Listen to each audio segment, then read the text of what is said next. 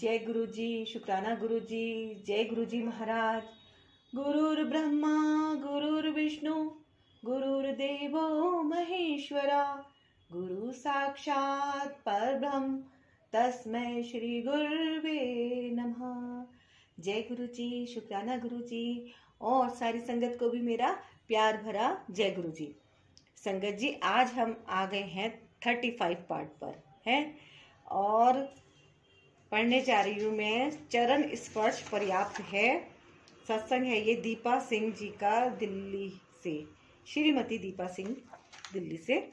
ये संगत जी जिनका है ये सत्संग। और बहुत छोटा सा है ये तो। फिर मैं आगे और कंटिन्यू करूँगी। जहाँ तक गुरु जी की आज्ञा होगी, है ना? जितना वो कहेंगे पढ़ने के लिए मैं उतना पाठ अवश्य करूँगी। तो गुरु जी आप बताइए कहाँ तक पढ़ना है? जहाँ तक आपका आदेश होगा, मैं वहाँ तक पढ़ूँगी। है ना? तो आप आज्ञा दीजिए। है ना? संगत जी गुरु जी का आप भी जयकारा लगाइए। ध्यान से उनका सिमरन कीजिए। थोड़ा सा कंसंट्रेट कीजिए। क्योंकि होता क्या है? हमें क्या करना होता है? हमें तो बस परमात्मा का ध्यान करना होता है। बाकी करना तो उनको ही है। हमें कुछ नहीं करना। हमें तो सिर्फ़ उनकी बातें करनी है, उनका ध्यान करना है। बस। और ये सब बातें कभी भी व्यर्थ नहीं जाती। ये बहुत इंपॉर्टेंट बातें होती हैं, क्योंकि परमात्मा का जो लोक है, वहाँ पे हमारी हाजिरी लग जाती है कि हम कितना सिमरन कर रहे हैं। हमारा जो है बैंक बैलेंस बढ़ता जाता है। सिमरन से हमारा बैंक बैलेंस बढ़ता है। है ना? और सबसे बड़ी बात ये होती है कि जब हम वो सिमरन खुद करते हैं, उससे तो हमारा बैंक बैलेंस बढ़ता ही है। जब हम दूसरे से करवाते हैं तो हमारा ब्याज और ज़्यादा लग के बढ़ता है। हाँ जी तो हमें अपना अकाउंट मेंटेन करके रखना है बहुत अच्छे से। है ना गुरु जी तो संगत जी, मैं तो गुरु जी से आज्ञा लेकर यही बैठती हूँ कि कुछ भी, जिस भी माध्यम से आप अपनी संगत को समझाना चाहते हैं, वही शब्द मेरे मुँह से निकले, कुछ भी अन्यथा ना निकले। तो गुरु जी मुझे इतना प्यारा गुरु मिला, गुरु का प्यारा दरबार मिला। जय गुरु जी बहुत ही मनमोहक स्वरूप है ये। मैं तो बस निहाल ही होती रहती हूँ। समझ ही नहीं आता, इनकी आँखें देखूँ या इनकी मुस्कुराहट देखूँ? आपको विश्वास नहीं होगा, लेकिन बहुत ही अद्भुत बात है ये कि सच में मुझे तो इन, इस स्वरूप में ना गुरु जी की थोड़ी थोड़ी एक्टिविटीज़ ऐसे ना हिलती हिलती भी दिखाई देती है, जैसे वो मुझे कुछ दिखा रहे हो। हाँ ये मेरे को तो बड़ा ही हो जाता है, क्या करूँ मैं? समझ नहीं आता। अविरल अश्रुधारा मेरे आँखों से निकल पड़ती है जब मैं फुल कंसंट्रेट के साथ इनके आगे खड़ी हो जाती हूँ। तो हे मेरे परमात्मा, मुझे नहीं पता कि क्या होता है। आज तक संगत जी, कभी शहद वाली अमृत वर्षा मेरे यहाँ तो कभी नहीं हुई। मैंने बहुत सारे लोगों क्या देखी। भगवान जाने कि मेरे यहाँ कब होगी, है ना? सोचती रहती हूँ मैं कि संगत जी, अमृत वर्षा कैसे होती है और कब होगी।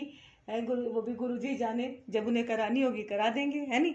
हम तो जो है, सिमरन कर रहे हैं, लेकिन हाँ इतना मैंने फील करा है कि इस स्वरूप में आँखें, बिल्कुल जब मैं आज सुबह भी ऐसा ही फील हुआ मुझे कि मैं आँखों पे कंसंट्रेट कर रही थी तो ये तो लिप्स हिलने लग गए। और जब मैं लिप्स पे कंसंट्रेट करने लगी कि भाई गुरु जी की मुस्कुराहट कितनी प्यारी है तो मुझे आँखें, ऐसा लगा जैसे कि कुछ हिल रहा है वाइब्रेशन सी फील हो गई। पता नहीं गुरु जी क्या हुआ? और संगत जी, आपको विश्वास नहीं होगा, मेरी तो पूरी अंदर तक आत्मा ही सिर से उठी और आँखों से जो टप टप टप टप मेरे आँसू बहने लगे। पता नहीं है आँसू भी अपने आप ही क्यों आ जाते हैं? जब भगवान के साथ हम अपना डायरेक्ट कनेक्शन बहुत ज़्यादा करने लग जाते हैं तो आँखों में अश्रुधारा क्यों आ जाती है? ये लगता है जैसे कि जब ज़्यादा ही हम करीब पहुँचते हैं भगवान के तो वो सब कुछ शायद ऑटोमेटिकली होता है। गॉड नो से तो भगवान ही जाने, हमें नहीं पता।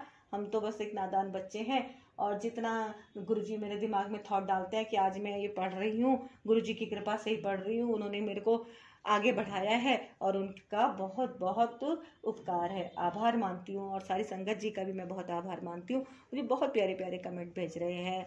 गुरु जी का शुक्राना भेज रहे हैं। जब गुरु जी का शुक्राना आता है तो वो तो बस मेरे लिए बहुत ही खुशी की बात होती है कि गुरु जी को लोग शुक्राना भेज रहे हैं, है ना? सारा गुरु परिवार मुझे गुरु जी की कृपा से मिल रहा है और मेरा परिवार आगे दिन दुगनी, रात चौगनी तरक्की कर रहा है, बढ़ रहा है, बहुत बढ़ रहा है है ना? हर रोज़ नए नए लोग मेरे साथ कनेक्ट हो रहे हैं तो बस ये गुरु जी की ब्लेसिंग ही है कि गुरु जी मेरे साथ कनेक्शन बनवा रहे हैं, गुरु परिवार बढ़ा रहे हैं मेरा, है ना? तो संगत जी, आप सभी से मैं रिक्वेस्ट करती हूँ, कोई भी जो भी इस वीडियो को पहली बार देख रहा है गुरु जी ब्लेसिंग कल्याण किता चैनल पर अगर आप पहली बार आए हैं तो हाथ जोड़कर मैं निवेदन करती हूँ तो आप इस चैनल को सब्सक्राइब अवश्य कीजिएगा, वीडियो को लाइक कीजिएगा और कमेंट में गुरु जी के लिए शुक्राना भी अवश्य भेजिएगा। है ना गुरु जी अच्छा लगता है ना? हाँ जी, बहुत अच्छा लगता है। तो अभी स्टार्ट करते हैं हम आज का ये पहला सत्संग, पार्ट थर्टी फाइव का, दिल्ली से श्रीमती दीपा सिंह जी का। चरण स्पर्श पर्याप्त है। चंडीगढ़ के मुख्य पर्यवेक्षक श्री गिल ने हमें गुरुजी के पास फरवरी उन्नीस में दर्शन हेतु भेजा। मैं तुरंत गुरुजी द्वारा अनुग्रहित हुई। मेरे पेट और पैर में भयंकर वेदना थी। औषधियों का कोई प्रभाव नहीं हो रहा था। मुझे बहुत कष्ट था। गुरुजी के चरण स्पर्श करते ही मेरे शरीर में उपचारात्मक प्रभाव हुआ। उनके हाथों से प्रसाद ग्रहण कर मेरा रोग विलीन हो गया। शीघ्र ही मैं उनके निर्देशानुसार प्रति पखवाड़े उनके दर्शन करने में समर्थ थी। मेरा पुत्र गुरुजी के प्रति आक्रमक और अवज्ञाकारी था। उसे मैं गुरुजी के पास लेकर आई। उनके ही आशीष से वह परिवर्तित हुआ और फिर उसे सदा उनके आशीर्वाद की प्रतीक्षा रहने लगी। उसकी दुर्घटना के समय कार तो क्षतिग्रस्त हुई, पर गुरु कृपा से वह बच गया। एक बार गुरु जी के निर्देश पर हम चंडीगढ़ एक विवाह में गए। वहाँ गुरु जी ने हमें श्री गिल के घर जाने के लिए कहा। जहाँ वह उसी दिन कुछ देर के लिए ठहरे थे। वह कक्ष उनकी सुगंध से भरा हुआ था और हमने जी भरकर उनके चित्र द्वारा उनके दर्शन किए। गुरु जी के मस्तक पर गुरु नानक देव की मुखाकृति स्पष्ट दिखाई दी। एक अन्य अवसर पर मुझे गुरु जी के गिलास में शिव के नाग देवता दिखाई दिए। सेवानिवृत्ति के कष्ट। 2001 में मेरे पति को उनके कार्यालय में उनके कनिष्ठ और वरिष्ठ अधिकारी व्यतीत कर रहे थे। शीघ्र ही गुरुजी को दया गुरुजी की दया से वह सब अधिकारी स्थानांतरित हो गए। 2003 में जब वह सेवा से निवृत्त होने वाले थे, पुनः कष्ट बढ़ गए। उनके कुछ सहकर्मी उनको चैन से सेवानिवृत्त नहीं होने दे रहे थे। उन पर झूठे आक्षेप लगा दिए गए। उन, इसके कारण वह अत्यधिक दुखी थे। पेंशन और अन्य अनेक भत्तों का मिलना भी संदेहास्पद हो गया था। उन्होंने गुरुजी से प्रार्थना करी। कुछ ही दिनों में सब आरोप हटा दिए गए और उनको समस्त लाभ प्राप्त हुआ। जय गुरु जी शुक्राना गुरु जी संतान पर कृपा। मेरी बेटी पढ़ने में कमज़ोर थी और आगे पढ़ना नहीं चाह रही थी, किंतु गुरु जी की गुरु जी का आशीर्वाद प्राप्त करने के बाद उसने कानून का पाठ्यक्रम आरंभ किया और प्रथम वर्ष में प्रथम श्रेणी से उत्तीर्ण हुई। मेरा पुत्र इलेक्ट्रॉनिक अभियंता है और उसकी पत्नी एक कंप्यूटर कंपनी में कार्यरत है। वहाँ पर कार्य शुरू करते ही गुरु जी की दया से वह प्रशिक्षण के लिए अमेरिका गया और उसे दस वर्ष का वीज़ा भी मिल गया। हमारे परिवार पर गुरु जी की कृपा बनी हुई है। यदि हम गुरु जी के पास नहीं आ पाते तो वह हमें स्वप्न में दर्शन देते हैं। जय गुरु जी शुक्राना गुरु जी ये थी श्रीमती दीपा सिंह, दिल्ली से। संगत जी इनका सत्संग आपने सुना? बताइए, कैसा लगा आपको? है ना? अब हम नेक्स्ट है, ये भी छोटा सा सत्संग है। एन एल सप्रा दिल्ली दिल्ली से है ये, कोई सप्रा है ये? एन एल सप्रा दिल्ली से। इनका जो टाइटल है वो है, मैं उसे स्वर्ग से वापस लाया हूँ। तो सुनिए आप ध्यानपूर्वक। ओम नमः शिवाय शिवजी सदा साई ओम नमः शिवाय गुरुजी सदा साई ओम नमः शिवाय शिवजी सदा साई ओम नमः शिवाय गुरुजी सदा साई ओम नमः शिवाय शिवजी सदा साई ओम नमः शिवाय गुरुजी सदा सहाय कई वर्षों से मेरी पत्नी बात रोग और जोड़ों के दर्द से पीड़ित थी। छह वर्ष तक उसने एम्स और उसके पश्चात होम्योपैथिक का उपचार कराया था। पर कोई लाभ नहीं हुआ था। जोड़ों के दर्द के कारण वह चल भी नहीं पाती थी। बैठने और उठने में भी सहायता की आवश्यकता होती थी। मई उन्नीस में हमारी बेटी ने गुरुजी के बारे में बताया और एक ताम्र लोटे के साथ उनके आशीष के लिए आने को कहा। अगले दिन हमें पहली बार गुरुजी के दर्शन हुए और हमने अपना आदर प्रकट किया। गुरुजी ने ताम्र लोटे को अभिमंत्रित किया। मेरी पत्नी को रात को उसमें जल भर कर रखने के पश्चात सुबह उसमें से आधा जल पीना था और शेष से स्नान करना था। कुछ समय में ही उसकी स्थिति में सुधार आया। समय के साथ उसके जोड़ों की वेदना भी कम हुई। गुरु कृपा से वह अब चल बैठ और उठ पाती है। जय गुरु जी अप्रैल 2005 में गुरुजी ने पुनः उसकी रक्षा करी। सीताराम भारतीय चिकित्सालय में नियमानुसार होने वाले परीक्षण परीक्षण में उसका रक्तचाप अति ऊँचा पाया गया। 230 बटा एक सौ बीस। कुछ समय तक उसको देख रेख में रखा गया और लगातार औषधि सेवन करते रहने को कहा गया। दो सप्ताह उपरांत उसे श्वसन शोध का दौरा पड़ा, क्योंकि उसे श्वास लेने में कठिनाई थी। उसे नेबुलाइजर का प्रयोग करने को कहा गया। एक दोपहर को उसकी अवस्था अचानक बहुत कष्टप्रद हो गई और उसे सांस लेने में कठिनाई हो रही थी। जब तक नेबुलाइजर लगाते वह चेतना शून्य हो गई। थोड़ी देर में उसे होश आया, परंतु वह व्याकुल थी और उसने कहा कि उसे कुछ ठीक नहीं लग रहा है। थोड़ी देर में शांति का आभास होने पर वह सो गई। देर रात्रि में बेटी का फ़ोन आया कि गुरुजी ने कहा है कि माँ की अवस्था शोचनीय है और सुबह उन्हें अश्लोक चिकित्सालय में प्रविष्ट कराएँ। अतः वैसा ही किया गया। गुरु कृपा से सब सुचारू रूप से चला और दो सप्ताह में स्वास्थ्य लाभ कर वह घर आ गई। पूर्ण स्वास्थ्य लाभ होने पर हम गुरु जी के दर्शन के लिए गए। श्रीमती मेहता नामक एक भक्त ने मेरी पत्नी से उसके स्वास्थ्य के बारे में पूछा। हम गुरुजी के पास ही बैठे हुए थे और गुरुजी ने श्रीमती मेहता से कहा कि वह उसे स्वर्ग से वापस लाए हैं। हमें तुरंत आवास हुआ कि वह ईश्वर के अवतार हैं। गुरुजी ने पूरे परिवार को अपना आशीर्वाद दिया है। हमारे पुत्र और पुत्री दोनों उनके अनुयायी हैं और जीवन में बहुत अच्छा कर रहे हैं। हमारा पूरा परिवार गुरु जी की दया के लिए उनका अत्यंत आभारी है। एन एल सप्रा, दिल्ली से। जय गुरु जी शुक्राना गुरु जी तो इनका सत्संग भी यहाँ पे समाप्त हुआ। देखा संगत जी, आपने इनका सत्संग सुनना कितना? इन्होंने जो है, क्या लिखा है कि चरण स्पर्श ही पर्याप्त है।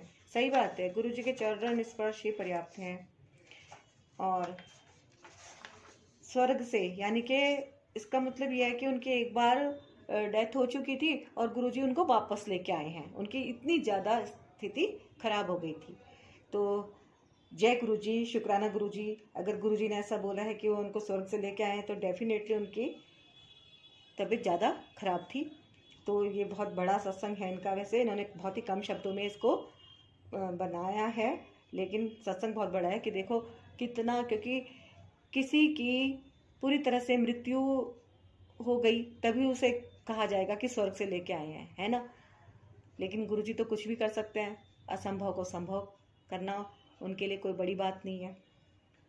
चलो, बहुत बहुत शुक्राना गुरु जी आप अपनी कृपा, अपनी मेहर सारी संगत पे बनाए रखना। जय गुरु जी शुक्राना गुरु जी सब पे मेहर करना गुरु जी सबका कल्याण करना गुरु जी जय गुरु जी अब हम आ गए हैं नेक्स्ट सत्संग है ये।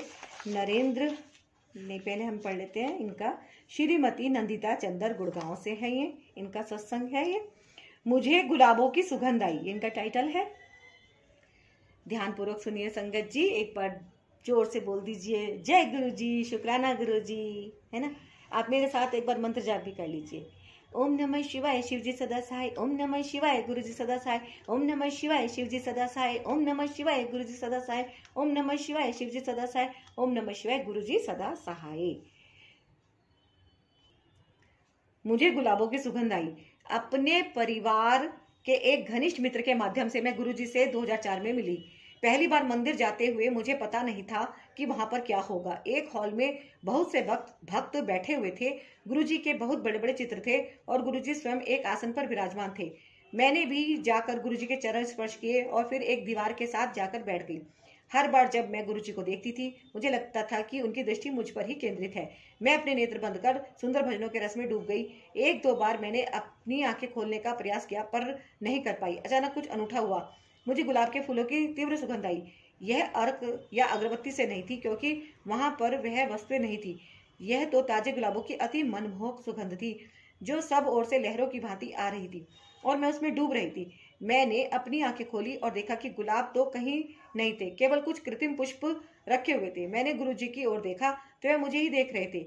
वह बोले, हुन दस प्रैक्टिकल ए केसी और मैं उसका विश्लेषण नहीं कर पाई। भला मैं उनसे कैसे प्रश्न करती? मुझे गुरुजी के पास इसलिए लाया गया था क्योंकि चिकित्सकों ने मेरे मस्तिष्क में गुलमे का निदान किया था। वह मेरी दृष्टि की नस के ऊपर था और अधिक बढ़ने पर मैं दृष्टिहीन हो सकती थी। मुझे अति तीव्र औषधियाँ दी जा रही थी।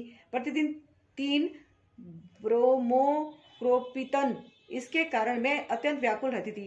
कार्यरत होते हुए मैं अपना कार्य ठीक से नहीं कर पाती थी। मैं गुरु जी के पास जाकर शांति से बैठकर प्रार्थना करती थी। मैं आशा करती थी कि शल्य क्रिया करवाकर गुलमे को निकलवा दूँ और औषधियाँ बंद कर दूँ। गुरु जी ने मेरी विनती सुन ली। औषधियों का सेवन करते हुए भी वह गुलमा बढ़ता जा रहा था। अक्टूबर 2004 में मेरी शल्य क्रिया हुई। उन्होंने मुझसे तिथि, चिकित्सालय और चिकित्सक का नाम पूछा और बोले कि उनका आशीर्वाद मेरे साथ है और मुझे कुछ नहीं होगा। मुझे भी पता था कि अब कुछ असामान्य नहीं हो सकता। नहीं हो सकता है। यह एक अत्यंत जटिल शल्य क्रिया थी, पर मैं प्रसन्न थी। मुझे पता था कि गुरुजी मेरे साथ हैं। मेरा स्वास्थ्य लाभ अनुमान से कहीं अधिक तीव्र गति से हुआ और कीमोथेरेपी, जो सामान्य दो मास के उपरांत शुरू करनी थी, तीन सप्ताह के बाद ही आरंभ कर दी गई। किसी को विश्वास नहीं हो रहा था। चिकित्सालय से बाहर आते ही मैं गुरुजी को धन्यवाद करने गई तो उन्होंने मुझे नए जीवन पर बधाई दी। मुझे पता था कि उन्होंने मुझे नव जीवन प्रदान किया है। विकिरण चिकित्सा होते हुए भी मेरे ऊपर कोई दुष्प्रभाव नहीं हुआ। मैं अन्य रोगियों को स्ट्रेचर और पहिए वाली कुर्सियों पर बाहर आते हुए देखती थी। इसके विपरीत उन दिनों प्रातः मैं अपने कार्यालय का काम करने के बाद चिकित्सालय जाती थी और उसके उपरांत बाज़ार में घूमती थी। मैं सामान्य जीवन व्यतीत कर रही थी। सब गुरुजी की कृपा का फल है। जिन दिनों मैं अपोलो चिकित्सालय में अपनी विकिरण चिकित्सा के लिए जा रही थी, गुरुजी ने अनेक अन्य उन रोगियों पर भी अपनी दया दृष्टि करी, जिनके संपर्क में मैं आई थी। मुझे एक नौ वर्षीय बच्चे का संदर्भ याद है, जिसके मस्तिष्क में गुलमा था। उसके अभिभावकों को चिकित्सा कुछ दिनों तक रोकनी पड़ी, क्योंकि उसके पिता निर्धन तो कहीं दूर सरकारी नौकरी कर रहे थे, अवकाश लेकर आए थे। उसकी चिकित्सा में समय लग रहा था और जितना अधिक समय लगता, उतना ही उनको धन का अभाव होता। मेरे पास गुरुजी का एक लॉकेट था। मैं अपने साथ सदा गुरुजी का चित्र रखती हूँ। मैंने उसकी माँ को वह लॉकेट उसकी आँखों पर प्रतिदिन रखने के लिए कहा। मुझे विश्वास था कि गुरुजी उसकी सहायता अवश्य करेंगे। एक सप्ताह के बाद वह मुझे पुनः मिले। वह बालक कीमोथेरेपी के लिए वापस आ गया था और अधिक स्वस्थ दिख रहा था। उसकी माँ ने कहा कि जब से उसने वह लॉकेट उसके ऊपर प्रतिदिन प्रातः रखना आरंभ किया है, वे अच्छा होने लगा है और चिकित्सक भी उसका स्वास्थ्य लाभ देखकर अचंभित है। जब मेरा बेटा ढाई वर्ष का था, मेरी चिकित्सा के तुरंत बाद हमें पता लगा कि शौच करते हुए उसमें रक्त भी आ रहा है। परीक्षण करवाए गए। इसके बाद में बताया गया कि उसके मलाशय की शल्य क्रिया होगी, जिसमें 45 मिनट से एक घंटे तक का समय लगेगा। बाहर प्रतीक्षा करते हुए मैं गुरुजी से यही विनती करती रही कि वह अंदर जय के साथ रहें। उस प्रक्रिया में तीन घंटे लग गए। जब चिकित्सकों ने हमें अंदर बुलाया तो वह चिंतित थे। इतनी देर लगने का कारण उनको मिली दूषित फुंसियाँ थी, जिनकी बायोप्सी करवानी थी। उन चार दिनों में मैं अत्यंत व्याकुल रही। मैं गुरुजी से हर समय उनकी कृपा के लिए ही प्रार्थना करती रही। गुरुजी ने जय को आशीर्वाद दिया। परिणामों में कुछ विशेष नहीं निकला, केवल साधारण संक्रमण, जो एक सप्ताह की औषधि से चल, चला गया। हम उस घटना को अब भूल गए हैं। गुरु जी ने सदा मेरी कामनाएँ पूर्ण करी हैं। भले ही वह भौतिक हो या स्वास्थ्य संबंधित गुरु जी के पास जाने पर उनको पता चल जाता है कि हमें किस वस्तु की आवश्यकता है। हम उसके प्रति अनभिज्ञ रहते हैं, वह दोनों प्रदान करते हैं। उनको कुछ भी कहने की आवश्यकता नहीं है। मैं उनके बारे में पूरे दिन बैठकर लिख सकती हूँ कि उन्होंने हमारे लिए कितना कुछ किया है। पर जैसा वे स्वयं कहते हैं, शॉर्ट में सुनाओ, शॉर्ट में सुनाई हम सब पर दया करने के लिए आपका हार्दिक अभिनंदन। शॉर्ट में सुनाई, हम सब पर दया करने के लिए आपका हार्दिक धन्यवाद। हम सब पर दया करने के लिए आपका हार्दिक धन्यवाद। श्रीमती नंदिता चदर गुड़गांव। श्रीमती नंदिता चंदर गुड़गांव। तो ये इनका सत्संग सुना संगत जी आपने, और बहुत शॉर्ट में इन्होंने अपनी बात कही है, और अभी इनका सत्संग समाप्त हुआ। तो बताइएगा आपको कैसा लगा, है ना? तो अब इसमें हम ज्वाइन करते हैं दूसरा सत्संग इनका है नरेंद्र तनेजा, दिल्ली से, है ना ना? तो स्टार्ट करते हैं। ओम नमः शिवाय, शिवजी सदा सहाय। ओम नमः शिवाय, गुरुजी सदा सहाय। ओम नमः शिवाय, शिवजी सदा सहाय। ओम नमः शिवाय, गुरुजी सदा सहाय। ओम नमः शिवाय, शिवजी सदा सहाय। ओम नमः शिवाय, गुरुजी सदा सहाय। गुरुजी, जितने सत्संग आप करवाओगे, मैं उतने करती रहूँगी, है ना? तो हम स्टार्ट करते हैं। जय गुरु जी गुरु मेरी पूजा, गुरु गोविंद, गुरु मेरा पार ब्रह्म, गुरु भगवान। गुरु मेरी पूजा, गुरु गोविंद। गुरु मेरा पार ब्रह्म, गुरु भगवंता। गुरु मेरी पूजा। ये बड़ा ही सुंदर यहाँ पे इन्होंने लिखा हुआ है। वाह अमेजिंग बहुत अच्छा लगता है मुझे, ये दिल को छू जाते हैं ये शब्द। फरवरी 2005 में अच्छा पहले इनका टाइटल बता देती हूँ मैं, दीर्घकालिक कैंसर का सफाया। फिर है, गुरु मेरी पूजा, गुरु गोविंद, गुरु मेरा पार ब्रह्म, गुरु भगवंत। फरवरी 2005 में चिकित्सकों ने मेरी पत्नी के गर्भाशय में कैंसर का निदान किया था। रोग बहुत फैल चुका था और प्राणघातक कोषाणु फेफड़े के पास तक पहुँच गए थे। हमने सब चिकित्सकों को दिखाया। किंतु शल्य क्रिया के अन्यथा कोई और उपाय नहीं था। अंततः अनिता की शल्य क्रिया बम्बई चिकित्सालय में हुई। उसके पश्चात प्रति तीन सप्ताह के अंतराल में छह बार कीमोथेरेपी होनी थी। उसी समय ईश्वर दूत की भांति मेरी बहन और उसके पति, जो गुरु गुरु जी के अनुयायी थे, हमारे घर आए। उन्होंने हमें गुरु जी के बारे में बताया और उनका आशीर्वाद लेने की सलाह दी। अगले बृहस्पतिवार को हम गुरु जी के दर्शन के लिए गए। हमने हॉल में प्रवेश किया ही था कि गुरु जी ने मेरी पत्नी से बात करी। उन्होंने उसे उसके नाम और घर में व्यापार घर में प्यार वाले नाम से संबोधित किया। अनीता, लखनऊ वाली बबली आंटी। हमें एकदम आश्चर्य हुआ और अनीता में विश्वास और साहस का प्रादुर्भाव हुआ। उसे प्रतीत हुआ कि उसकी सब समस्याएँ समाप्त हो गई हैं और गुरु कृपा उस पर सदैव बनी रहेगी। गुरुजी ने अनिता को एक ताम्र लोटा लाने को कहा जिस जिसे उन्होंने अभिमंत्रित किया। अनिता प्रतिदिन उसका जल पीती थी। कैंसर का उपचार सरल नहीं है। कीमोथेरेपी और उसके दुष्प्रभाव, बालों का झड़ना, जी मिचलाना और उदासी आदि अत्यधिक होते हैं। उसके बाल झड़ने की प्रक्रिया से उससे अधिक, उसके परिवार वालों, वाले अधिक चिंतित थे। कीमोथेरेपी होते हुए उसने अपना धैर्य और साहस बनाए रखा। यह सब गुरु कृपा के कारण हुआ। गुरु जी भी उसे ढांढस देते रहते थे। उन्होंने तो उसे कह दिया कि वह स्वस्थ है और प्रतिदिन एक आध पैग विस्की भी पी सकती है। इन्हीं दिनों गुरुजी ने बताया कि हमारे पुत्र का प्रेम विवाह होगा और ऐसा ही हुआ। उसने अपनी पसंद की कन्या के सामने विवाह का प्रस्ताव रखा तो वह सहज मान गई। उन दोनों को हम गुरुजी के पास लाए और उनका आशीर्वाद दिलवा, दिलवाया। अनिता को कैंसर हुए, अब तीन वर्ष हो गए हैं। उसमें अब उस रोग के कोई लक्षण नहीं है और वह पुनः पहले की भांति मिलनसार और हसमुख है। गुरु गुरु जी ने उस पर दया करके उसे स्वास्थ्य घोषित कर दिया है। समस्त परिवार के सदस्य मित्र गण और उसके चिकित्सक भी उसे स्वस्थ देखकर गुरु जी द्वारा दिए गए नव जीवन में आनंद उठाते हुए देखकर अति प्रसन्न है। गुरु जी का हमारे जीवन में आगमन कितने उचित समय पर हुआ? अनिता के कैंसर का निदान हुआ। सात महीने ही हुए थे कि मेरे हृदय की तीन धमनियाँ बंद मिली। गुरु जी ने मेरी चिकित्सा अपनी विधि से करी। यदि भी मैं उनके पास अपनी एंजियोग्राफी के तुरंत के उपरांत गया था, उन्होंने मुझे तुरंत शल्य क्रिया करवाने से मना कर दिया। मेरे कुछ बोलने से पहले ही उन्होंने पूछा कि क्या मैंने परीक्षण कराया है? मेरे हाँ कहने पर उन्होंने मुझे थैलियम परीक्षण भी कराने को कहा। उसका सकारात्मक सकारात्मक परिणाम आने पर मैं अत्यंत निराश हुआ। परिणाम के पश्चात उन्होंने मुझे शल्य क्रिया कराने, करवाने को कहा। मेरा विचार से वह उचित समय की प्रतीक्षा में थे। मेरे मधुमेह के कारण उस समय विपदा की संभावना अधिक रही होगी।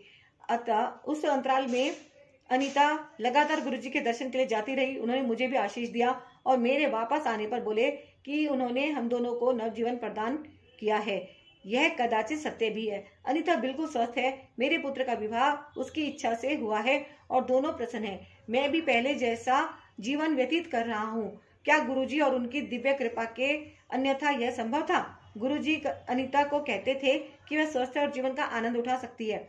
उनके आशीर्वाद से अब हम दोनों में अधिक आत्मविश्वास, सुख, शांति और उल्लास है। हमें सदा उनकी उपस्थिति का आभास रहता है। हमारे लिए वह परमेश्वर हैं। निष्कपट आस्था के साथ उनके पास पहुँचे प्रत्येक मनुष्य को उनकी दिव्य कृपा की प्राप्ति होती है। नरेंद्र कनेजा, दिल्ली से। जय गुरु जी शुक्राना गुरु जी अनंतम शुक्राना गुरु जी सारी संगत का भला करो। पूरे गुरु परिवार का भला करो। हमेशा अपनी मेहर बनाए रखो। हर क्षण, हर पल अपनी मेहर, अपनी कृपा बरसाते रहो। जय गुरु जी शुक्राना गुरु जी तो इनका सत्संग समाप्त हुआ संगत जी। नेक्स्ट है, जीवन मृत्यु के रचयिता। और ये है इनका इनका है हाँ सत्संग थोड़ा सा बड़ा। ये है नरेंद्र ढंड अहमदाबाद द्वारा कथित। इनका सत्संग भी आप सुनिए, ज़रूर सुनिए। और जय गुरु जी शुक्राना गुरु जी ओम नमः शिवाय शिव जी सदा साय ओम नमः शिवाय गुरु जी सदा साय ओम नमः शिवाय शिव जी सदा साय ओम नमः शिवाय गुरु जी सदा साय ओम नमः शिवाय शिव जी सदा साय ओम नमः शिवाय गुरु जी सदा सहाय। जय गुरु जी जीवन मृत्यु के रचयिता। श्रद्धालु की निजी नियति में गुरु जी का हस्तक्षेप, जहाँ पर वह भक्त को उन विपदाओं से बचाते हैं जिनका उसे ज्ञान नहीं हो, और यह करने के लिए उसके कर्मों का निवारण समझना सरल नहीं है। साथ ही उसके बुरे कर्मों को समाप्त करने में सर्वशक्तिशाली के कृत्य, जीवन और मृत्यु पर उनका अधिकार सिद्ध करते हैं। दुष्ट आत्मा बनाए, दुष्ट आत्मा बनाम गुरु ऊर्जा। नरेंद्र ढंड अब अहमदाबाद स्थित जनरल इलेक्ट्रॉनिक में कार्यरत के परिवार को एक विचित्र समस्या थी। उनकी पत्नी के शरीर में एक शक्तिशाली दुष्ट आत्मा ने प्रवेश कर लिया था। उनकी माँ पटियाला में नव वर्ष के अवसर पर गुरुजी से मिली और उनका एक चित्र लेकर घर आई। परिवार ने पंचकुला में गुरुजी से भेंट करनी चाहिए, किंतु यह संभव नहीं हो सका। वे मनसा देवी चले गए। महिलाओं का सरलता से हर बात पर विश्वास करने के लिए नरेंद्र ने उन पर व्यंग कसा कि हर ईट के पीछे दो गुरु मिल जाएँगे। अंततः परिवार को चंडीगढ़ में शिवरात्रि के अवसर पर गुरु दर्शन के सौभाग्य प्राप्त हुआ। गुरु दर्शन का सौभाग्य प्राप्त हुआ। नरेंद्र ने अनेक सत्संग सुने और गुरु जी को यह भी कहते हुए सुना कि जो भी श्रद्धा से आया है, वह उसके घर अवश्य जाएँगे। अगले दिन प्रातः साढ़े चार बजे यह शब्द सत्य सिद्ध हुआ। अगले दिन प्रातः साढ़े चार बजे यह शब्द सत्य सिद्ध हुए। जब उनके शयन कक्ष का द्वार खुला और नरेंद्र ने गुरु जी की छाया देखी। गुरु जी ने गुरु गुरु जी ने घर पर अपने आने के प्रमाण भी छोड़े। घर की सफ़ाई करते समय दंपति को कुछ स्वर्ण के अति महीन तार मिले। उनको यह पता नहीं था कि यह क्या है, परंतु अगले बीस दिन तक घर में वह उन्हें उठाते रहे। यह वही तार थे जो गुरुजी के वस्त्रों में सज्जित बेल बूटों में लगते हैं। नरेंद्र ने गुरुजी से मिलने का निश्चय किया और एक शनिवार को उनसे मिलने चंडीगढ़ गए। उन्होंने गुरुजी से अपनी पत्नी की समस्या को लिख किया। तो गुरुजी ने कहा कि उन्हें आशीर्वाद मिल गया है। नरेंद्र निराश हो गए। वे सोच रहे थे कि गुरुजी ने उनसे, उनकी समस्या के बारे में क्यों नहीं पूछा या उनसे और अधिक बात क्यों नहीं करी। उस समय वह उस समय तक वह गुरु जी द्वारा उच्चारित शब्दों की पूरी शक्ति से अनभिज्ञ थे। उनके कथन सत्य वचन है। भले ही कितने भी अनौपचारिक रूप से किसी की समस्या का निवारण करने के लिए कहे गए हों। नरेंद्र फिर गुरुजी के जन्म स्थान डोगरी ग्राम गए। वहाँ से वे यादगार के लिए गुरुजी के घर से एक ईंट ले आए। उस ईंट को धोकर उन्होंने अपने घर में पूजा स्थान पर रख दिया। उसी रात्रि को उन्हें एक स्वप्न आया। उन्होंने देखा कि वह नारी आत्मा जो उनकी पत्नी के शरीर में थी, ने अब उनके शरीर में प्रवेश कर लिया है। उनके मुख से वह बोली, कि उसे कभी भी वश में नहीं किया जा सकता था। किंतु घर में रखी हुई वह ईंट इतनी शक्तिशाली है कि अब वह यहाँ पर और एक पल भी नहीं रह सकती है। और वह इसी समय यह घर छोड़कर जा रही है। परिवार की समस्या हल हो गई थी। गुरुजी के घर से लाई हुई उस ईंट के कारण। वह एक ईंट नरेंद्र के उस परिहास की हर ईंट के पीछे दो गुरु मिल जाते हैं, का मुँह तोड़ उत्तर भी था। अतः पर्यटन करने पर भी अगले दिन नरेंद्र को वह पूरा स्वप्न याद नहीं रहा था।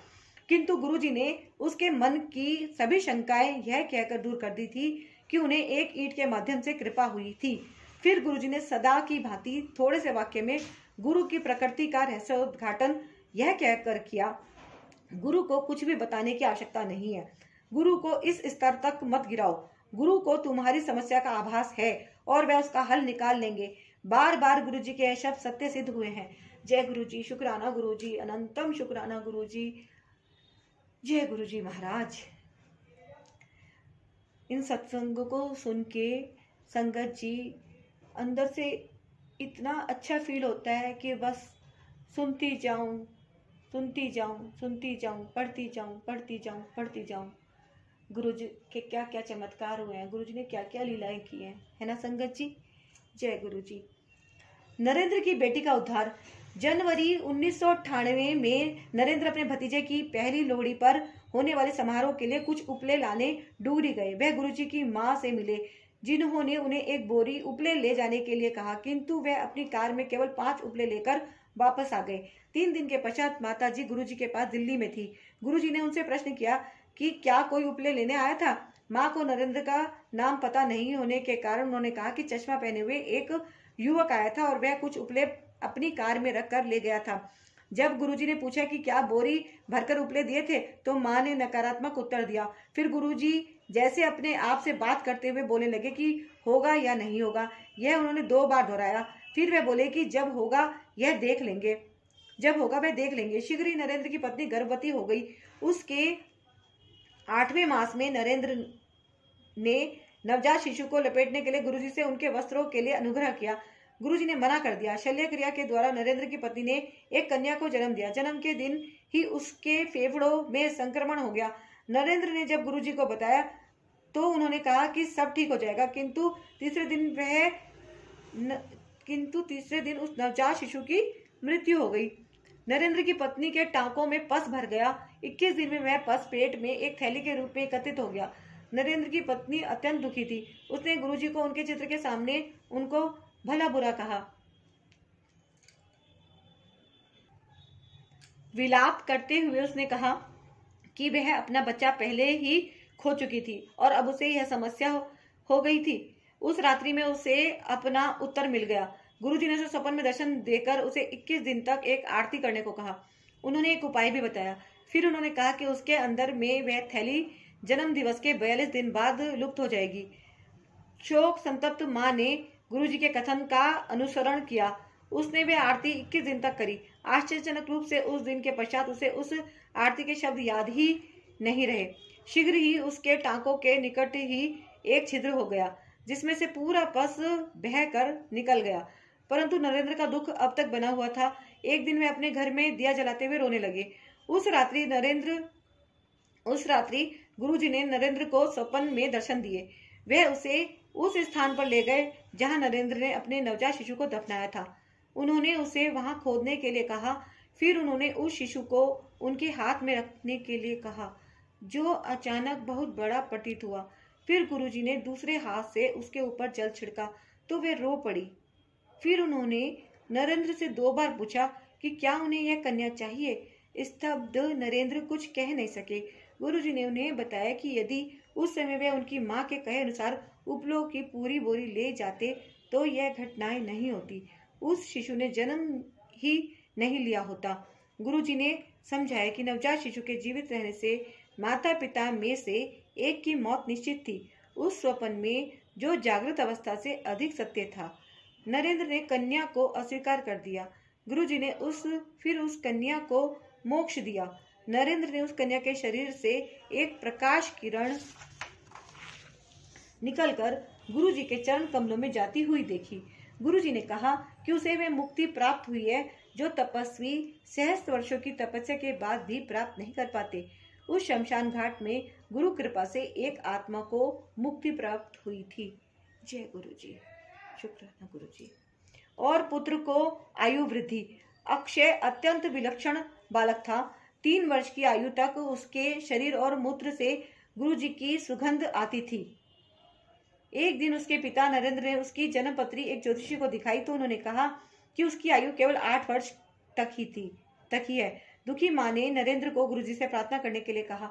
दिसंबर 2001 में गुरुजी जलंधर में थे। नरेंद्र ने वहाँ जाकर गुरुजी को ज्योतिषी के कथन से अवगत कराया तो उन्होंने मात्र इतना उत्तर दिया कि ज्योतिषी लोगों को गलत मार्ग पर ले जाते हैं। कुछ दिन पश्चात एक भक्त ने जलंधर में ही एक समारोह का आयोजन किया। गुरु जी ने नरेंद्र को आने के लिए कहा तो उन्होंने चंडीगढ़ में एक अधिवेशन होने के कारण अपनी असमर्थता व्यक्त करी। गुरु जी के अनुरोध पर नरेंद्र रात्रि दस बजे चंडीगढ़ से जलंधर पहुँचे। गुरु जी उस समय प्रसाद वितरण कर रहे थे। उन्होंने नरेंद्र को भी प्रसाद दिया। फिर नरेंद्र ने लंगर किया और उसके उपरांत गुरु जी के साथ हॉल में बैठ गए। सदगुरु ने पुनः प्रसाद बांटा और नरेंद्र को देते हुए बोले कि उन्होंने उसके पुत्र की आयु वृद्धि कर दी है। नरेंद्र को गुरु जी का कथन याद है। केवल रब ही यह कर सकता है और वह उसके सामने है। जय गुरु जी शुक्राना गुरु जी जब अक्षय का पाठशाला जाने का समय आया तो उसके अभिभावकों ने तीन स्थान पर प्रवेश पत्र भरे थे। दो ने बहुत अधिक राशि दान के रूप में मांगी तो उनके बारे में सोच विचार ही बंद करना पड़ा। एक सपन में गुरुजी ने अक्षय की जेब में उनका चित्र रखने का निर्देश दिया और कहा कि ऐसा उसका, ऐसे उसका प्रवेश हो जाएगा। तीसरे स्कूल में बच्चे के साक्षात्कार के दिन यद्यपि उसके माता पिता गुरुजी का चित्र लेकर भेजने को उत्सुक नहीं थे, उन्होंने उसकी जेब में एक चित्र रख ही दिया। उसके पिता चिंतित थे। पाँच हज़ार में से केवल 250 चुने जाने थे, परंतु अक्षय का विश्वास अटल रहा। परिणाम आने पर वे चकित हो गए। प्रवेश सूची में उसका नाम पाँचवें स्थान पर था और उनको कोई अतिरिक्त पैसा भी नहीं देना पड़ा। जय गुरु जी शुक्राना गुरु जी मृत्यु पथ से बचाओ। जनवरी उन्नीस में तीन साधु नरेंद्र के घर आए। उनमें से एक भविष्यवाणी करने लगे और नरेंद्र की माँ को बताया कि उनके बड़े पुत्र की अब तक मृत्यु हो जानी चाहिए थी। यह सुनकर माँ ने नरेंद्र की पत्नी को बाहर बुलाया। संत ने कहा कि उसकी बड़ी हुई आयु उन महापुरुष के कारण है, जिन पर वे आस्था रखते हैं। फिर उस घुमक्कड़ ज्योतिषी ने कहा कि नरेंद्र की मृत्यु तीस जनवरी को हो जाएगी। यदि उस संत को कपड़े दिए जाएँ तो वह इस विपदा को दूर कर देंगे। नरेंद्र की पत्नी चिंतित हो गई और उसने नरेंद्र को गुरुजी के पास भेज दिया, क्योंकि वह तिथि निकट ही थी। तीस जनवरी को नरेंद्र गुरुजी के साथ थे। उस रात को नरेंद्र की पत्नी ने सपन में देखा कि गुरुजी और माँ काली एक साथ हैं और गुरुजी काली को दंपत्ति को आशीर्वाद देने को कह रहे हैं। माँ के हाथ में एक चांदी की छड़ है। उन्होंने दंपति को अपने हाथ आगे करने को कहा। नरेंद्र के ऐसा करने पर माँ ने उनके हाथ पर छड़ से वार किया। नरेंद्र की पत्नी ने भयभीत होकर मना कर दिया और हाथ आगे नहीं बढ़ाया। गुरुजी ने कहा कि छड़ के उस वार से नरेंद्र के बुरे कर्म नष्ट हो गए थे। उन्होंने नरेंद्र की पत्नी को यह भी बताया कि वह दृश्य काल्पनिक न होकर वास्तविक है। उसी समय नरेंद्र की पत्नी जग गई। उसने देखा कि उनके पूजा स्थान में रखे हुए गुरुजी के चित्र में लाल कपड़े काले हो गए थे। काली माँ के समान पाँच मिनट के पश्चात कपड़े पुनः लाल हो गए। जय गुरु जी शुक्राना गुरु जी मृत्यु के चिन्ह मिटाए। लुधियाना में उनके पैतृक घर के द्वार पर दो हाथ चिन्ह थे चिन्हित। थे नरेंद्र की पत्नी को कुछ अंदेशा था और उसने अपनी सास को दर्शन के लिए नैना देवी के मंदिर भेज दिया। जब वह वहाँ पर नहीं थी, नरेंद्र की पत्नी घर साफ़ करने और उन निशानों को मिटाने में लग गई। उसने उन चिन्हों को अपने हाथ से मिटाने का प्रयत्न किया। रात तक उस रात तक उस हाथ में अत्यंत वेदना और सूजन आ गई थी। चार दिनों में बाएँ अंग में पक्षाघात हो गया। चिकित्सकों ने औषधियाँ आरंभ करवाकर कुछ व्यायाम करने को कहा। नरेंद्र जलंधर में कार्यरत थे। पत्नी के समाचार सुनकर वह घर आना चाह रहे थे, किंतु पत्नी ने उन्हें फ़ोन पर चिंता मुक्त रहने के लिए कहा। सदा की भांति गुरुजी ने उसको रोग मुक्त किया था। उसने बताया कि वह अपना दुखड़ा गुरुजी के चित्र के सामने व्यक्त कर रही थी कि अचानक गुरुजी प्रकट हो गए। उस अपने उस प्रकार प्रकट होने के, अचंभे के, शांत होने के बाद वे दंपत्ति के बिस्तरे पर बैठ गए। उन्होंने बताया कि उन चिन्हों का अर्थ सास की निश्चित मृत्यु थी, जो उन्होंने मात्र हाथों के लकवे में परिवर्तित कर दिया था। गुरुजी ने अपने भक्त के हाथ मले और फिर उन्हें हिलाने को कहा। जब वह नहीं कर सकी तो उन्होंने परिक्रिया दोहराई। इस बार वह हाथ को हिला सकी। लकवा लोप हो गया था। गुरुजी ने सलाह दी कि वे अपनी सास से उनके चित्र पर जल डलवाए और इस जल से उन चिन्हों पर छींटे मारे जाएँ। छींटे मारते ही वह पूरे वह भूरे से लाल रंग के हो गए। गुरुजी बोले कि उन्हें आशीष मिला है। जय गुरुजी, शुक्राना गुरुजी। नैनीताल का निमंत्रण। जून 2002 में गुरुजी की संगत के साथ नैनीताल जाने की योजना बन रही थी। नरेंद्र की पत्नी सोच रही थी कि गुरुजी उनको साथ चलने के लिए कहेंगे या नहीं। नरेंद्र ने कहा कि ना तो वह उनके पुराने अनुयायी हैं, ना ही धनवान हैं तो गुरुजी उनको संभवत आने के लिए ना कहें। शीघ्र ही पता लगने वाला था कि उनका सोचना कितना गलत है। गुरुजी की संगत में कोई भेदभाव नहीं होता, और उन जैसे तेजस्वी विभूति के सम्मुख सब दीन है। वे दाता हैं और शेष सब कोई भी लौकिक प्रतिष्ठा होते हुए मात्र भिक्षु हैं। दो दिन, दो तीन दिन में ही गुरुजी ने नरेंद्र को दिल्ली बुलवाया। दिल्ली पहुंचकर लंगर खाने के उपरांत गुरुजी ने उन्हें नैनीताल आने का निमंत्रण दिया। जब नरेंद्र घर वापस पहुँचे तो उन्होंने अपनी पत्नी से कहा कि गुरुजी ने केवल औपचारिकता के लिए उन्हें आमंत्रित किया होगा। फिर जाने से तीन दिन पूर्व गुरुजी ने उन्हें बुलाया और साथ में उन्हीं वस्त्र भी लाने के लिए कहा। गुरुजी ने नरेंद्र के समस्त भ्रम दूर कर दिए थे। नरेंद्र कहते हैं कि उनको आपके जीवन में, जीवन के बारे में सब ज्ञान है। आप क्या करते हैं और क्या सोचते हैं? नैनीताल में गुरुजी ने नरेंद्र को डिप्लोमा अथवा डिग्री पाठ्यक्रम करने के लिए कहा। नरेंद्र ने कहा कि एक दशक के बाद यह करना अत्यंत कठिन होगा, परंतु गुरुजी ने उसे बलपूर्वक यह करने का आदेश दिया। नरेंद्र ने डिप्लोमा पाठ्यक्रम करना आरंभ किया, पर उसे पूरा करने की शंका के साथ परीक्षाओं में नरेंद्र ने गुरुजी की सहायता मांगी। गुरु कृपा से उन्हें यह दो वर्ष में ही पूर्ण कर लिया और गुरुजी को समाचार देने आए। गुरुजी सोच रहे थे कि नरेंद्र उन्हें यह बताने का कष्ट क्यों कर रहा है? उन्होंने कहा कि परीक्षाएँ तो उन्होंने ही लिखी थी और सफल हो रहे थे। गुरु जी की दया से नरेंद्र ने एमबीए कर लिया था। जय गुरु जी सबको आशीर्वाद। गुरु जी सबको अपना आश्रय प्रदान करते हैं। उन्हें भक्त के भूतकाल से कोई अभिप्राय नहीं है। उन्हें पावन पवित्र विचारों की भी कोई आवश्यकता नहीं है। ईमानदारी से किया हुआ स्वलोकन अधिक लाभप्रद होगा। सदगुरु, सदाचारी और दुराचारी अच्छे और बुरे धनवान और निर्धन में कोई भेदभाव नहीं करते। उनकी छत्र छाया में परिवार, मित्र, संबंधी आदि सब आकर उनकी कृपा के पात्र बनते हैं। पर सदगुरु के साथ एकाकार होने के लिए स्वाभिमान को समाप्त कर उनको समर्पण करना अनिवार्य है। फिर गुरुजी अपने भक्त के जीवन पथ को ही सहज कर देते हैं और उसके बुरे कर्मों को जैसे उन्हें उचित लगे निष्फल कर देते हैं। नरेंद्र के भाई सुनील, शिव के परम भक्त थे और दोनों भाई अमरनाथ यात्रा एक साथ कर चुके हैं। 2005 के जून मास में सुनील फिर से अमरनाथ यात्रा पर गए थे। एक स्थान पर भूस्खलन हो रहा था और ऊपर पहाड़ों से बड़े बड़े पत्थर गिरते आ रहे थे। बस एक गहरी खाई के किनारे रुकी हुई थी। सुनील ने गुरुजी को याद किया। उनका चित्र निकालकर उसके ऊपर जल डाला और उस जल को उस दिशा में छिड़क दिया जिधर से पत्थर गिरे थे। भू संकलन बंद हो गया और सब यात्रियों को नवजीवन मिला। इस, उसके पश्चात जब सुनील गुरुजी के दर्शन के लिए दिल्ली गए तो गुरुजी ने उन्हें संगत को यह नया अनुभव सुनाने को कहा। उनके जीवन की रक्षा करने के लिए गुरुजी ने अन्य, अनेक यात्रियों को जीवन दान दिया था। यह पहला अवसर नहीं था जब गुरुजी ने सुनील को जीवन दान दिया था। वर्ष 2000 में सुनील के अपेंडिक्स की शल्य क्रिया हुई थी, पर उसके पश्चात सुनील को मूत्र नहीं आ रहा था। यह गंभीर था, जिससे संबंधित उदरशूल उनसे सहा नहीं जा रहा था।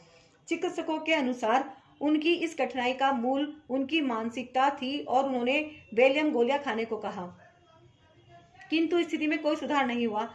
जब सुनील चंडीगढ़ में गुरुजी के पास गए तो उन्होंने सत्रह गिलास चाय पिलाई और दो लंगर कराए। जैसे ही सुनील जाने को तत्पर हुए, गुरुजी ने एक कप चाय और पीने को कहा।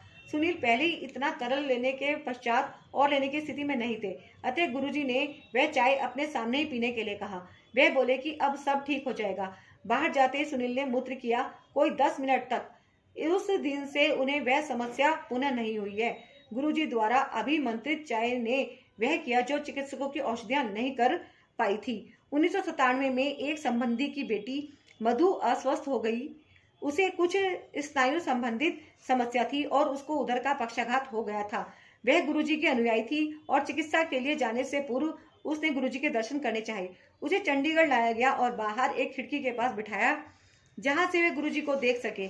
मधु ने रोते हुए प्रसाद के लिए प्रार्थना करी। गुरुजी ने उसकी आस्था की परीक्षा लेने के लिए उसको सबसे अंत में प्रसाद दिया। उन्होंने उसको पटियाला के राजेंद्र चिकित्सालय में प्रविष्ट कराने को कहा। दो सप्ताह वहाँ रहकर उसके स्वास्थ्य में सुधार हुआ। चिकित्सालय से निकलकर वह पुनः गुरुजी के दर्शन के लिए आई।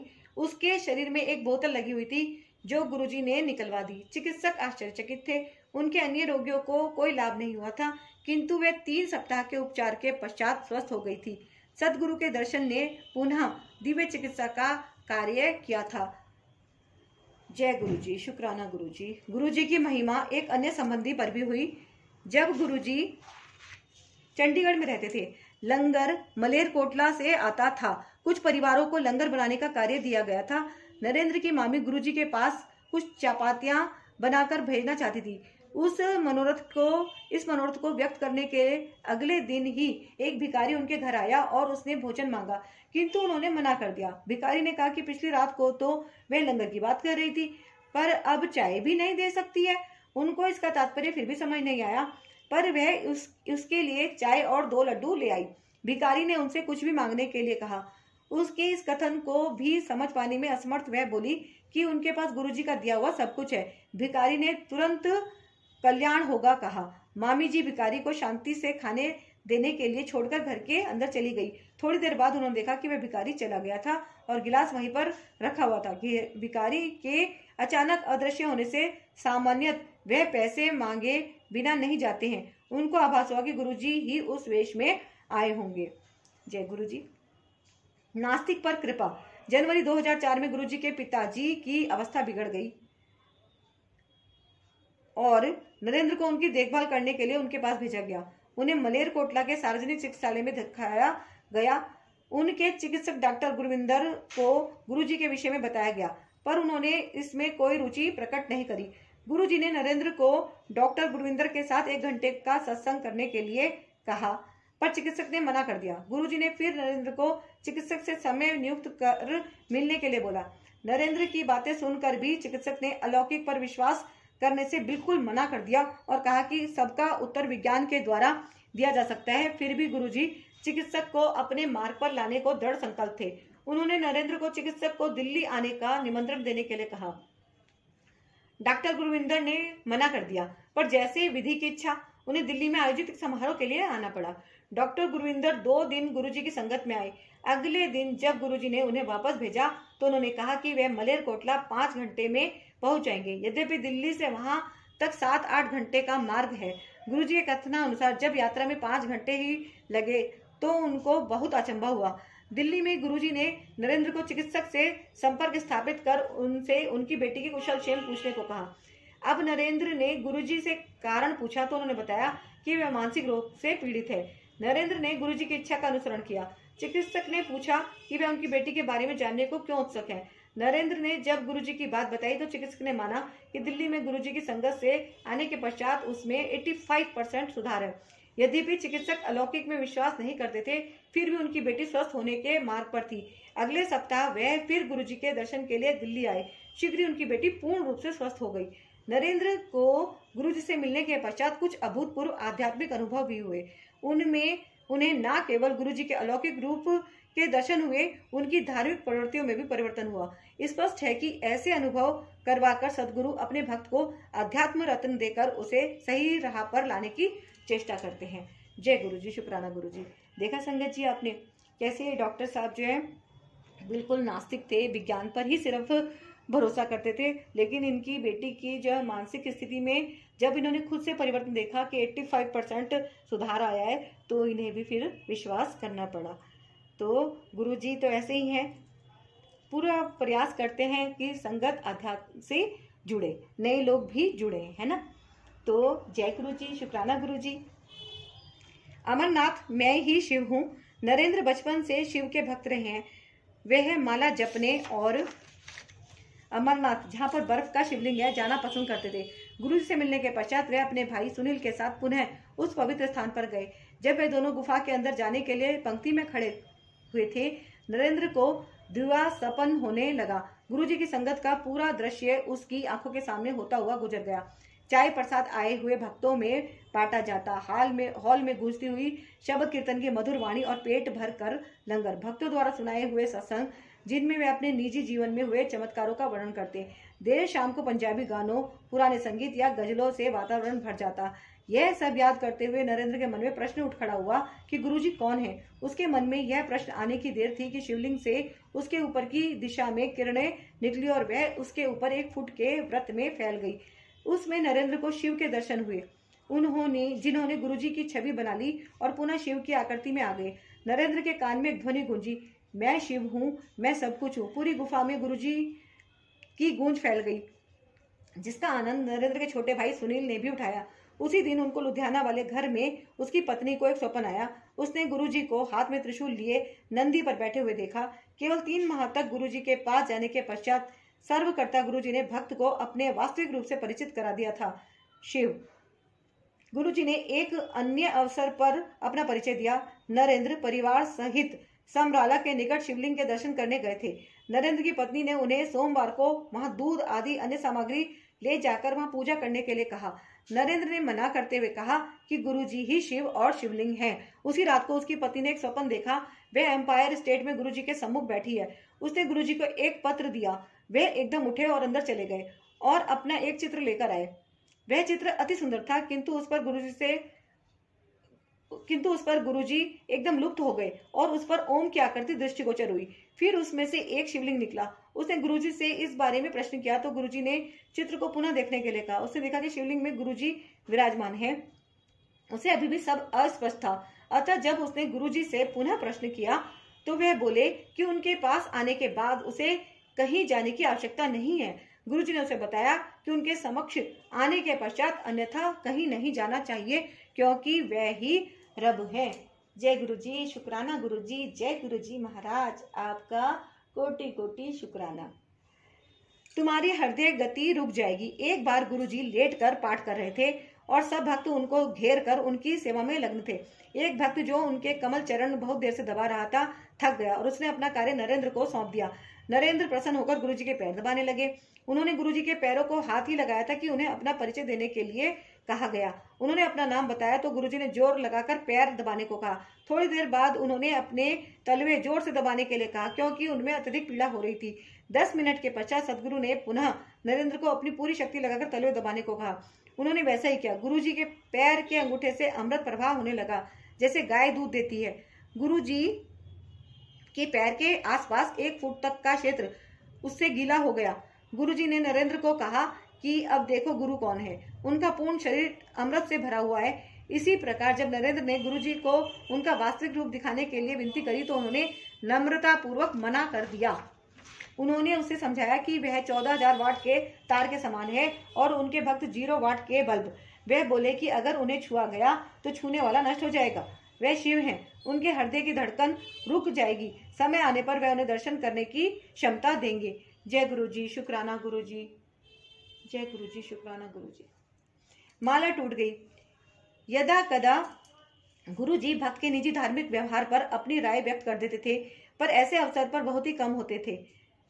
पर ऐसे अवसर बहुत ही कम होते थे। माला को कुछ भी बताने को वह मना करते थे, क्योंकि ऐसे मनुष्य स्वाभिमानी हो जाता है। परंतु नरेंद्र इस प्रथा को अपने बचपन से करते आ रहे थे।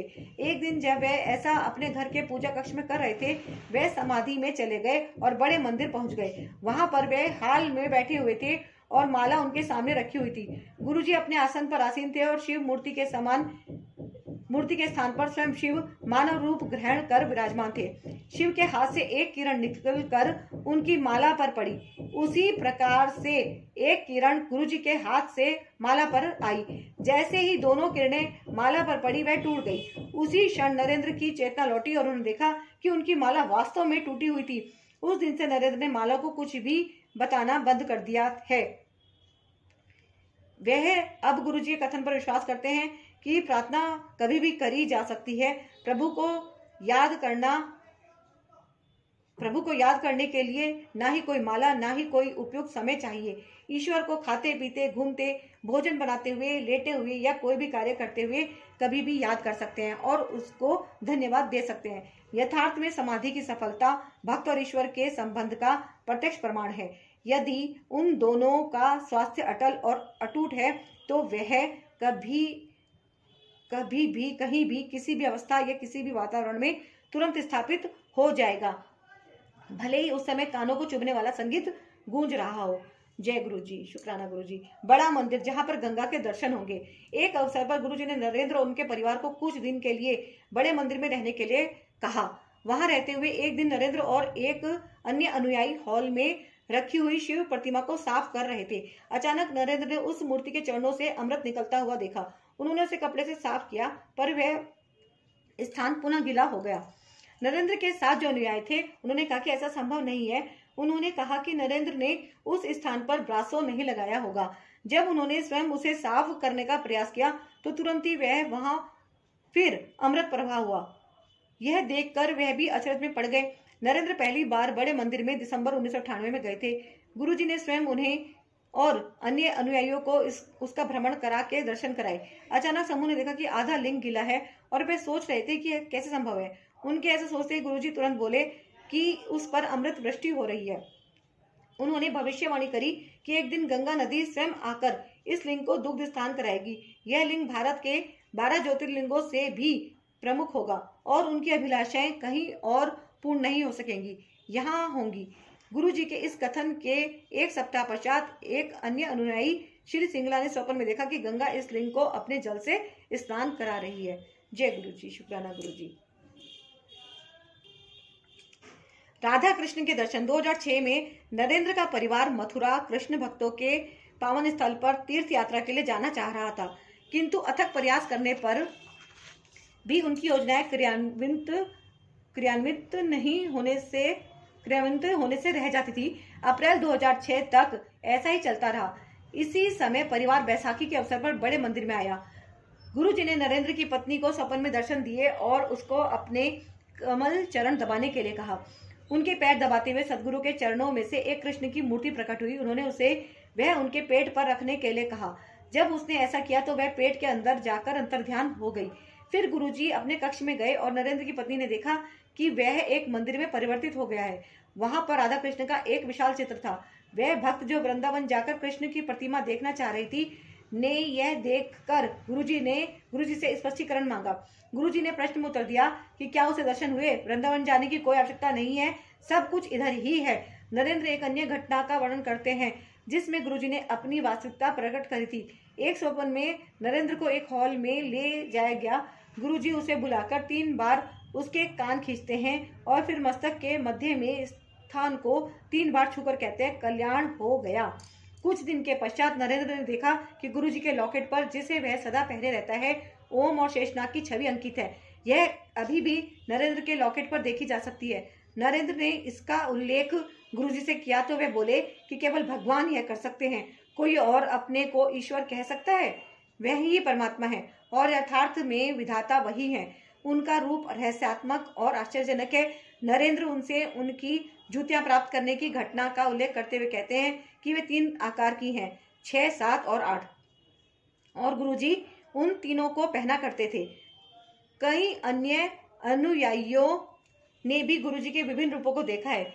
ऐसा केवल वही कर सकता है जिसने भौतिक पर विजय प्राप्त कर ली हो, जो माया से उच्च है, प्रकृति जिसके चरणों में निवास करती हो, जो उसका स्वामी हो जो शिव है, जिसका कोई आदि मध्य या अंत नहीं है, जिसने काल समय से पूर्व जन्म लिया हो और जिसने गुरु जी के रूप में मानव जाति का कल्याण करने के लिए अवतार लिया हो वे है प्रेम सहित अपने भक्तों का संरक्षण करते हैं, उन्हें कभी भी अयोग्य होने का आभास नहीं होने देते हैं और सदा अपने भीतर छिपी हुई दिव्यता को खोजने की प्रेरणा देते हैं।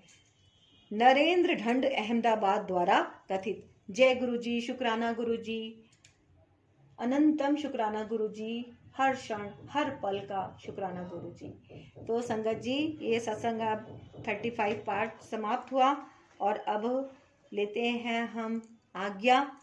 गुरु जी से, आज तो गुरु जी ने काफ़ी सत्संग करवाए हैं और आप ये सत्संग ज़रूर सुनिए और शेयर कीजिए, है ना?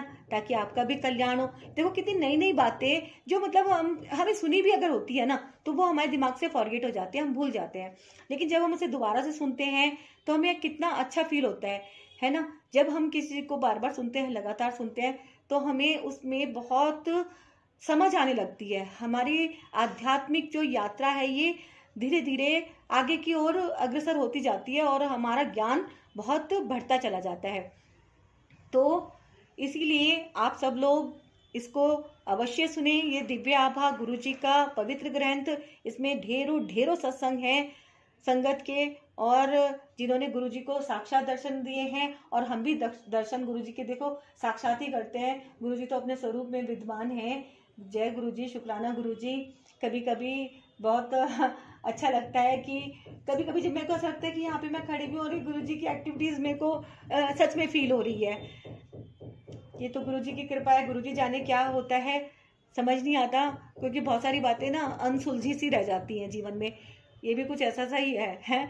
लेकिन विश्वास तो मेरा गुरुजी दिन दुगनी रात चौगनी रफ्तार से लगातार बढ़ा रहे हैं। गुरुजी का शुक्राना है। संगत जी अब मैं आपसे भी आज्ञा लेती हूँ कि आप अगर इस चैनल पे आए हैं, नए, पहली बार देख रहे हैं, अगर आपने सब्सक्राइब करा हुआ है तो आपका बहुत बहुत स्वागत है मेरे चैनल पर। और अगर आप पहली बार आए हैं तो बिल्कुल भी सब्सक्राइब करे बगैर नहीं जाना है, सब्सक्राइब का बटन ज़रूर दबाना है है ना? और गुरु गुरु जी ब्लेसिंग कल्याण किता फैमिली का सदस्य बनना है है ना? तो आपका इस चैनल पे बहुत बहुत स्वागत है। और अभी वीडियो को आप लाइक कीजिए, शेयर कीजिए और चलती हूँ मैं आपसे। विदा लेती हूँ अब मैं। और गुरु जी आज्ञा दीजिए, जो भी कुछ भूल चुक हुई हो उसके लिए क्षमा करना। संगत जी, अगर कुछ भूल चुक हुई हो तो आप उसके लिए मुझे क्षमा करना। जय गुरु जी